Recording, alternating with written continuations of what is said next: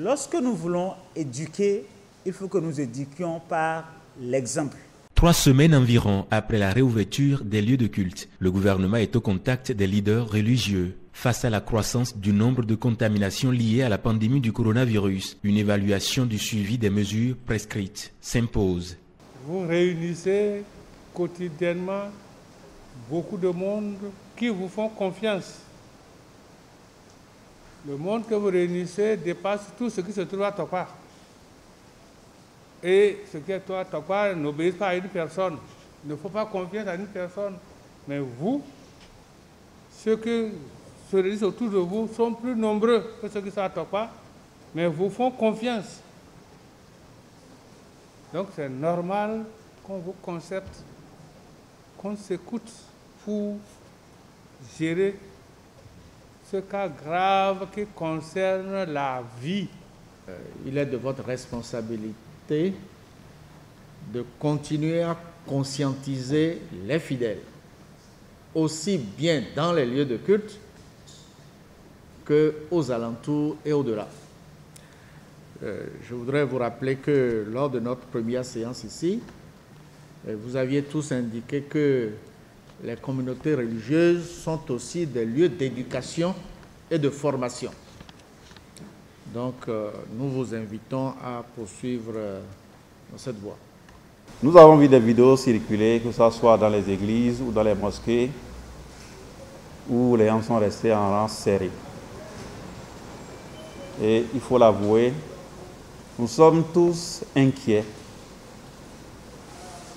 de ce que nous vivons aujourd'hui, qui malheureusement euh, est un constat depuis que les lieux de culte et les bus euh, ont été autorisés à reprendre service.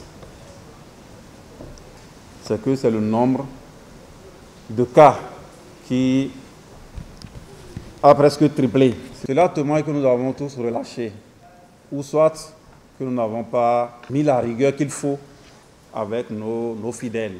Les représentants des différentes confessions religieuses font part des dispositions prises à chaque niveau pour le respect strict des mesures.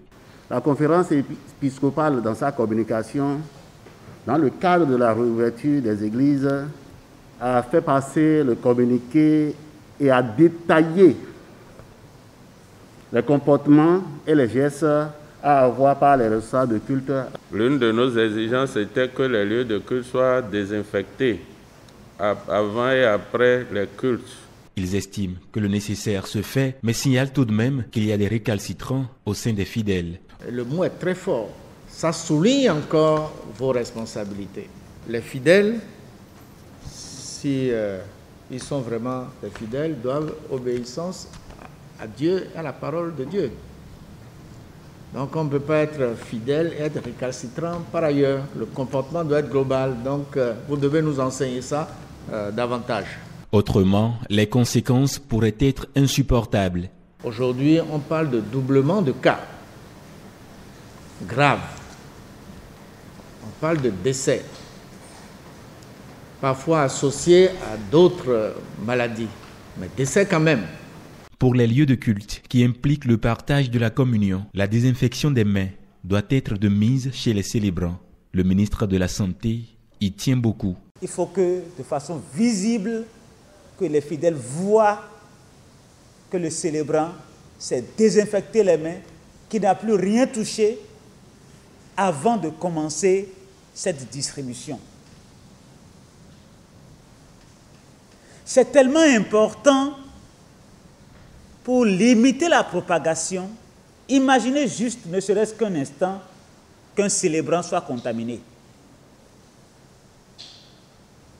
Et qu'il ne désinfecte pas ses mains correctement avant de commencer la distribution. S'il y a 100 fidèles dans l'église, c'est sans contamination. Et peut-être 1000 contaminations après. Plus de 13 000 lieux de culte, toutes confessions confondues, sont dénombrés sur l'ensemble du territoire, selon le calcul fait sur place. Pour une lutte sérieuse et bénéfique contre la pandémie du coronavirus, les responsables religieux ont encore des efforts à fournir.